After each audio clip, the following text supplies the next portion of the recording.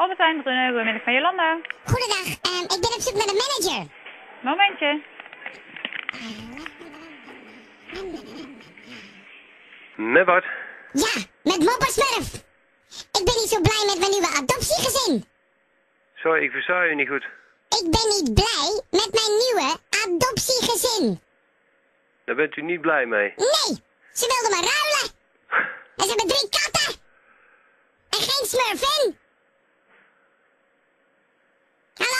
Hallo? Heeft u die mensen wel gescreend van tevoren? Want ik ben hier, zit hier niet goed. ik ben, zit ik in een radioprogramma of zo? Nee, ik zit in een gastgezin en ik wil eruit. Ik wil terug. En waar wilt u naartoe terug dan? Nou, naar jullie, naar een andere gastgezin. Ik wil opnieuw eh, in zo'n zakje eh, terug. Ze hebben hier katten. Misschien kunt u eens hier in de winkel langskomen. Ja, ik ben, daar ben ik al geweest. En toen ben ik weggegeven.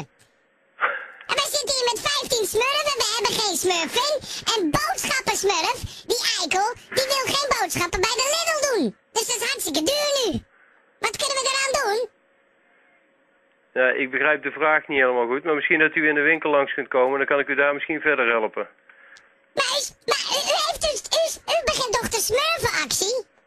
Ja, dat klopt. Nou, en nu heeft u mij in een, geza- in een gastgezin geduwd waar ik niet blij ben. Dat is toch niet eerlijk? Misschien dat u het bij de pleegzorg eens kunt proberen of zo. Bij de wie? Bij de pleegzorg, wel- Welke, de, de jeugdzorg. welk smurfennummer is dat?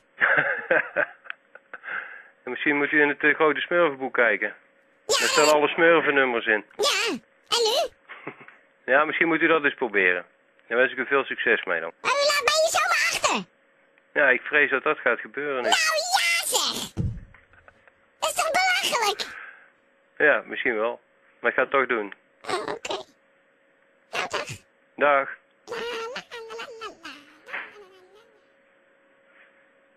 Nog?